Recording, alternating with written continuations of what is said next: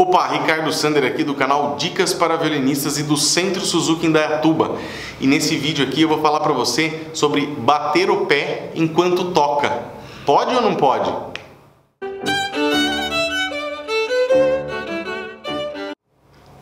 E vamos lá. Antes de começar a falar do, do vídeo, do, do, assunto do vídeo, não se esquece, se inscreve no canal aqui, ó, no cantinho aí, põe o mouse em cima dessa fotinha vermelha, já vai aparecer para você se inscrever se você não é inscrito ainda, tá bom? Deixa o seu like, deixa o seu comentário aqui, o que você achou do vídeo, qual que é a sua ideia, né? Sempre com respeito, ok? Quem vem xingando, quem vem sendo... É, sabe, aquela pessoa intolerante, ou a gente apaga o comentário, a gente bloqueia a pessoa, sei lá sempre a gente está disposto a discutir as ideias de uma forma é, civilizada, ok? Se você dá aula, não se esquece. Aqui embaixo tem um link para você se inscrever e receber dicas minhas de como dar aula, técnicas e estratégias de ensino, como funciona o método Suzuki, que eu fiz cursos e me especializei nessa parte, tá bom?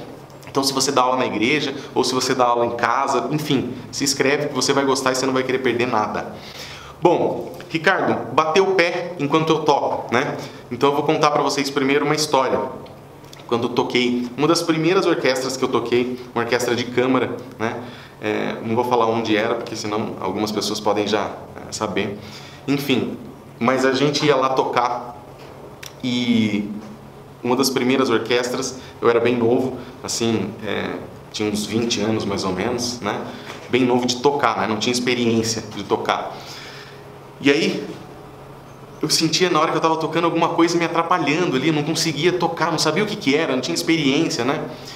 E é até que um dia eu percebi o que, que era. Era um senhor que tocava próximo e ele batia o pé assim, e o palco era um palco alto, então era aquela, aquele palco de madeira, né, que no fundo não tem nada, né? Então, pá, pá, pá, e ele batia o pé. E ele batia o pé no tempo dele. Ele atrapalhava a orquestra inteira, ele atrapalhava to, todo mundo que estava perto dele. Então, não pode bater o pé quando você está tocando em um grupo, quando você está tocando com alguém, tá bom? Você pode bater o pé quando você está tocando sozinho, para você marcar o tempo, tá? Por que, que você não pode tocar, é, bater o pé quando você está tocando com um grupo? Primeiro, se o chão fizer barulho, se o seu sapato fizer barulho, alguma coisa, tiver vibração, você vai atrapalhar quem está próximo de você, tá? Então você vai atrapalhar as outras pessoas, porque às vezes você vai variar o seu tempo, você vai dar uma batida numa pulsação que a pessoa está em outra pulsação, ok?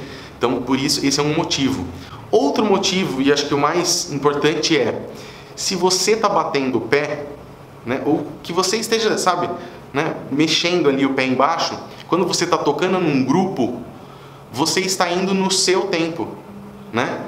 Para isso existe um regente, porque ele está marcando um tempo, regendo ali, e todo mundo está concentrado naquele tempo, naquela pulsação, e vai fazer isso com que o grupo consiga tocar muito bem todo mundo no tempo, né? Então não bata o pé, né? Você quer, eu quero morrer, gente, eu quero morrer eu estou na igreja tocando lá na congregação e o camarada bota o pezinho dele ali no, na joelheira, né, onde ajoelha, né, e ele vai batendo, batendo o pezinho. Ou mesmo batendo no chão ali, né, balançando a perna, né.